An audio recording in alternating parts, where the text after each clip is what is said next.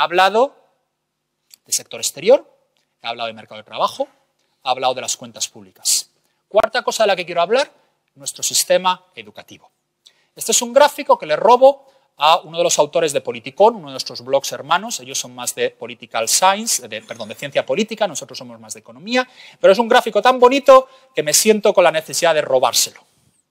Y lo que ven allí son muchos países de la OCDE y lo que ven son tres colorines. El colorín rojo son la gente que tenía entre 25 y 34 años en el 2011. Es decir, que si tenían 25 años en el 2011, que nacieron en el 86 y si tenían 34 años, es gente que nació en el 77, espero no equivocarme con estos números en la cabeza. Es decir, la gente que nació en España entre el 77 y el 86, ¿qué nivel de educación tienen en el 2011, cuando de alguna manera su ciclo educativo ya se ha cumplido? El 35% tienen solo primaria o secundaria básica, es decir, hasta los 16 años. El 26% tienen secundaria superior y solo el 39% tienen terciaria. Terciaria no estamos tan mal, lo que es realmente horrible es el hecho de que el 35% de los españoles entre 25 y 34 años en el 2011 no tienen nada más que la secundaria básica. ¿Quién nos gana? Nos gana Portugal, nos gana México y nos gana Turquía. Perdemos con respecto a todos los demás. ¿Y por qué esto es un problema fundamental de la economía española? Porque la economía del 2015 es una economía del pensamiento abstracto, es una economía de las nuevas tecnologías, es una economía de buscar en Google, es una economía de tratar conceptos de distintos sitios y ser capaz de sintetizarlos, es una economía de venir y crear nuevas cosas. Y como toda la vida hay excepciones, y tener un título no te garantiza ser listo, y no tenerlo lo mismo eres espabilado. Pero todos sabemos que la probabilidad de que si no tienes ni siquiera el bachillerato acabado vayas a contribuir de manera notable a la innovación tecnológica en Internet es reducida. No solo España tiene un problema muy gordo con el sistema educativo, es que además cuando les hacemos pruebas internacionales a estos chavales, resulta que saben mucho menos. Porque tú dices, bueno, vale, tenemos el 35% que solo tienen educación secundaria básica.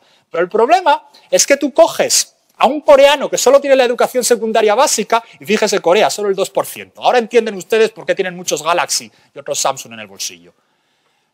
Que solo tiene el 2%, resulta que les haces un test y saben mucho más que el español que tiene la educación media superior acabada.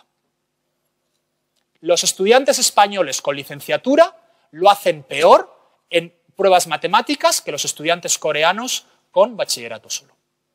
no solo, no solo no los estamos llevando a la educación superior, no solo no estamos consiguiendo que tengan un título, sino que además terminan sin saber las cosas que tienen que saber. Seguimos teniendo un sistema educativo que se basa en el, esto entra en el examen. Yo doy clase, esto, esta anécdota la he contado muchas veces, yo doy clase en PEN y muchas veces tengo estudiantes españoles que vienen de intercambio y te levantan la mano y te dicen, y esto entra en el examen, y esto se cubre o no se cubre, y esto, no, es que la educación no es así, no es culpa suya, es culpa de haberse criado y de haberse educado ante 16 años o 18 años en un sistema educativo basado todavía en el voy, memorizo los apuntes y lo copio y bla, bla, bla, bla, bla, bla.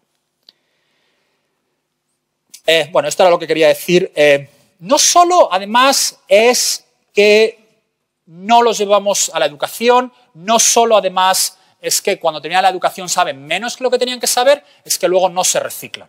Una de las grandes cosas del mundo moderno es que uno aprende algo, va a la empresa privada o a la empresa pública y después de 10, 15 años tiene que saber algo nuevo. Yo, por ejemplo, eh, yo no me gano la vida con esto, yo me gano la vida escribiendo modelos en economía y utilizo mucho la programación. Y el lenguaje de programación que utilizaba hace 15 años no es el lenguaje de programación que utilizo ahora. Y el año pasado decidí aprender un nuevo lenguaje de programación, pues me apunté a un curso, a un MOOC, de estos famosos que hay ahora online, y aprendí un nuevo lenguaje de programación. Bueno, pues lo tienes que hacer y soy catedrático y no pasa nada. Y te sientas y haces los deberes y como siempre he sido un niño empollón, hice los deberes muy bien, subrayado todo con cajitas en rojo, para que quedase claro. Porque es de lo que se trata, es de un reciclaje eh, eh, constante. Este gráfico se lo robo a otro compañero nuestro de Nada es Gratis, Floren Felgueroso, y lo que te muestra ahí es la cantidad, hay muchas cosas en el gráfico, pero fíjense solo en la barra azul, es la cantidad de gente que está en algún tipo de programa de reciclaje, aprendizaje, etcétera, para adultos. De nuevo, en España no nos reciclamos. Fíjense de nuevo en Dinamarca. Yo de verdad, esto es una desgracia, porque siempre que quiero enseñar algo que funciona bien, siempre son los daneses, los primeros, pero que es verdad. Dinamarca funciona bien y en Dinamarca hacen un esfuerzo para que la gente se recicle, para que la gente empiece a hacer cosas nuevas.